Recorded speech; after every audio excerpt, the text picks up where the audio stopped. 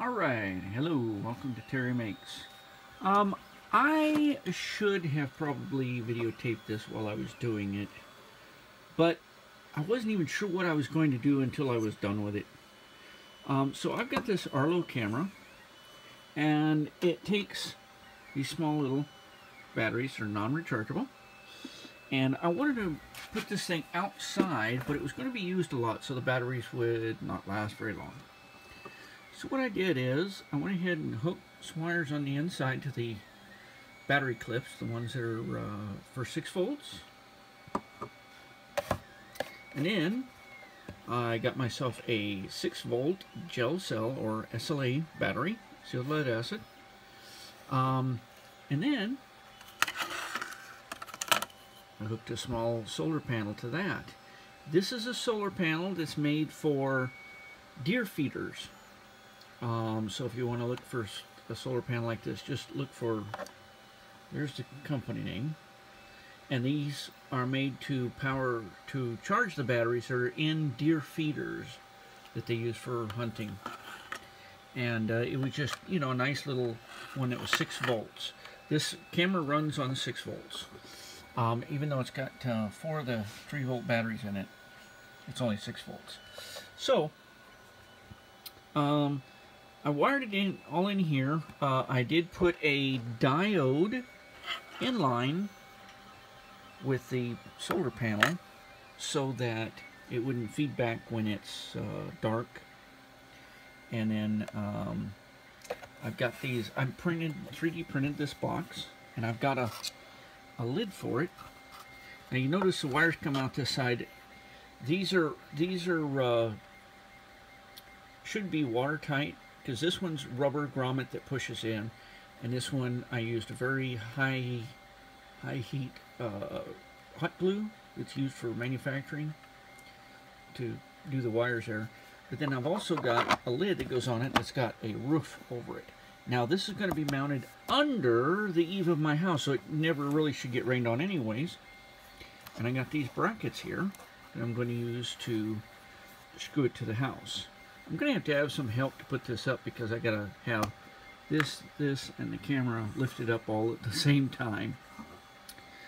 But uh, anyway, if you have any questions on this, um, I mean, it was a fairly simple project when I figured out what I wanted to do.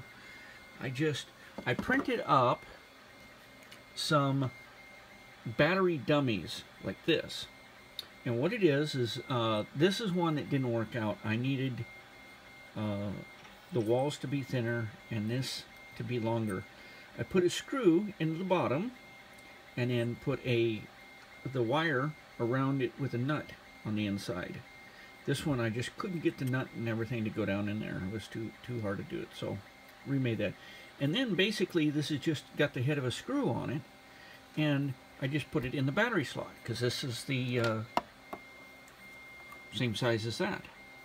So I made two of these up put these wires on from the inside to, the uh, to the screw. Now the reason I put a slot here so the wires could come out of the slot. And in fact, I on the ones I used, the slot actually goes all the way down.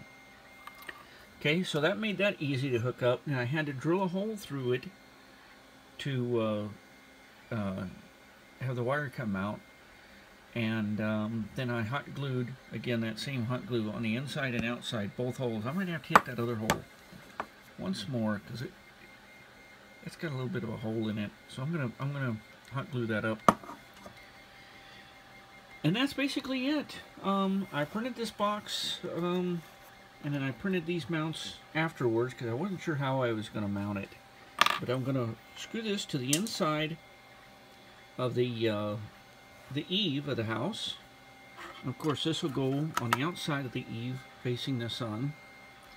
And same for this. This will, uh, I'm not sure exactly how I'm going to mount it. I mean, I could mount it this way because you can flip it in video. Or I could mount it this way and then turn the camera um, on there because it's got that hole there. That slot will allow me to turn the camera upright. Uh, but I'll figure that out once I get out there.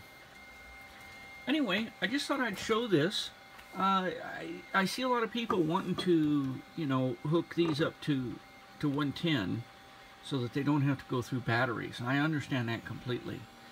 But I wanted to be able to not have it on 110 and just have it outside with a solar panel. I thought this was a good compromise. Um, the reason I picked the uh, the SLA battery is because I tried to look for other 6 volt rechargeable batteries and quite frankly the SLA was a lot cheaper than I could find a smaller like a nickel metal hydride battery. I didn't want to use um, nickel cadmiums. They're unreliable. They're bad. They're just nasty batteries. I've dealt with them for years, and they're just I don't don't want anything to do with them anymore.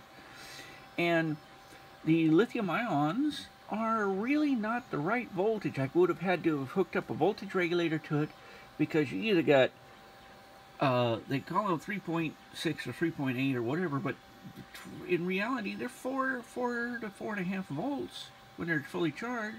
So if you put one, it's not enough. You put two, it's too much. So I went with the old SLA. That, that thing will probably last 10 years in there. Um, it was bigger, obviously, than I wanted to use. But it was only like 13 bucks. And the nickel metals that are 6 volts, a little tiny pack, that was six that uh, I could find were like $20. So, you know. Anyway, I will uh, keep an eye on this in case anybody has any questions. I'll be happy to answer them on how I how I did this. And I'll catch you later.